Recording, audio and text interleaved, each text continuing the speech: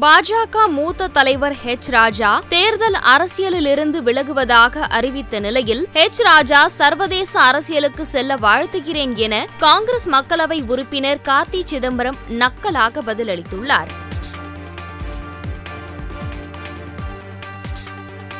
சிவகங்கையில் மக்களவை உறுப்பினர் கார்த்தி சிதம்பரம் செய்தியாளர்களை சந்தித்தார். அதில் எதிர்க்கட்சிகள் நாடாளுமன்றத்தில் அரசுக்கு எதிராக கருத்துக்களை எழுப்பக்கூடாது என்பதற்காக தான் ராகுல் காந்தியை பதவியிலிருந்து தகுதி நீக்கம் செய்திருப்பதாகவும் டெல்டாவில் நிலக்கரி சுரங்கம் அமைப்பதற்கு தமிழக அரசின் ஒப்புதல் பெறாமல் அறிவித்தது தவறு என்றும் ஒட்டுமொத்த அரசியல் கட்சியினரின் எதிர்ப்பு குரலுக்கு ஒன்றிய அரசு செவிசாய்த்து அதை கைவிட்டிருப்பதாகவும் தெரிவித்தார்.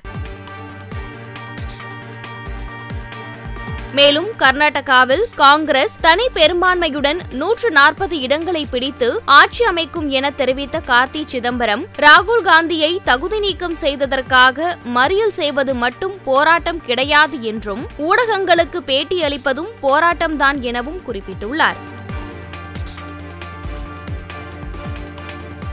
தேர்தல் அரசியலில் இருந்து விலகுவதாக ஹெச் ராஜா கூறியிருக்கிறாரே என்ற செய்தியாளர்களின் கேள்விக்கு பதிலளித்த கார்த்தி சிதம்பரம் சர்வதேச அரசியலுக்கு செல்வதற்கு வாழ்த்துக்களை தெரிவித்துக் கொள்கிறேன் என கிண்டலாக கூறினார்.